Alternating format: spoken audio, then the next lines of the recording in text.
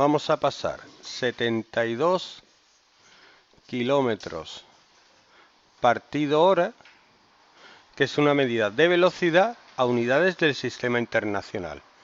En el sistema internacional, la unidad de longitud es el metro y la unidad de tiempo es el segundo. Cosas que tenemos que saber antes. Que un kilómetro son, ¿cuántos metros son? Mil metros. Y una hora, ¿cuántos segundos son? 3.600 segundos. Muy bien.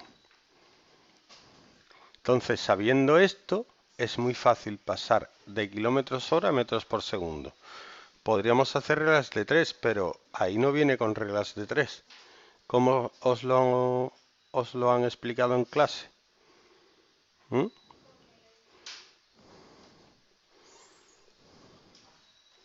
No.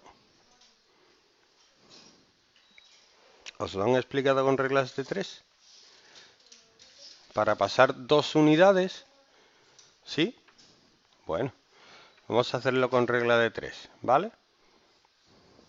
A ver, 72 kilómetros hora. Voy a pasarlo a metros hora. Si un kilómetro son mil metros, esto sería 72 por mil partido 1, ¿no? ¿Sí? 72 por 1000 partido 1. Serían 72.000 metros por hora. Y ahora tendría que pasar eso a segundos. 72.000 metros hora son x metros por segundo. Y ahora... ¿Y ahora qué?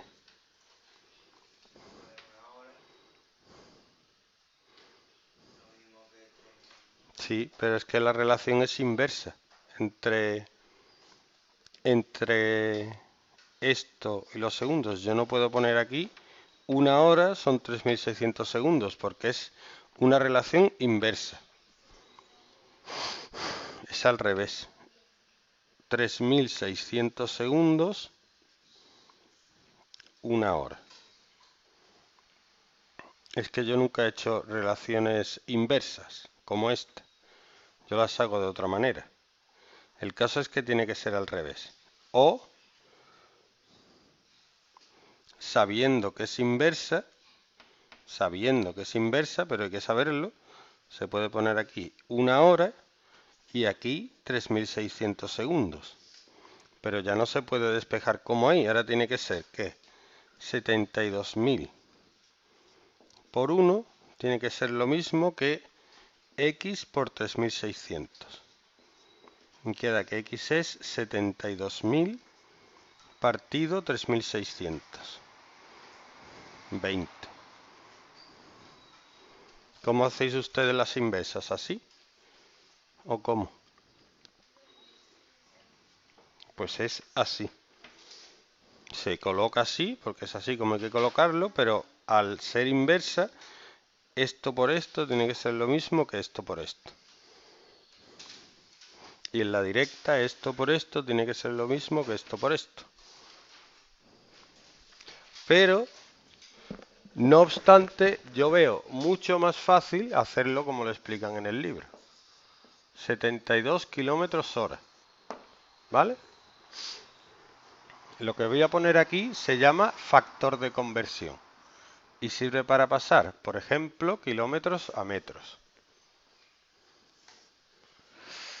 Un kilómetro, ¿por qué pongo el kilómetro abajo? Porque aquí está arriba y quiero que se simplifique.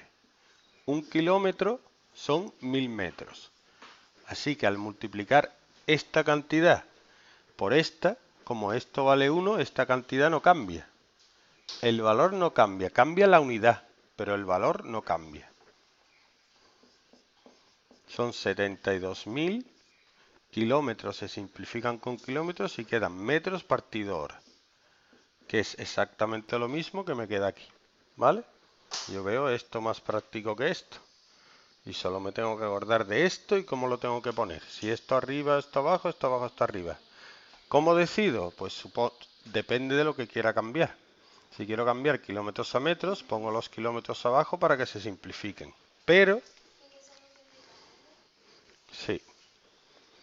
Pero... Es una multiplicación. Lo mejor es que puedes encadenar varios factores como también quiero pasar las horas a segundos y sé que una hora tiene 3600 segundos, pongo una hora. ¿Por qué arriba? Porque quiero que me simplifique con las horas.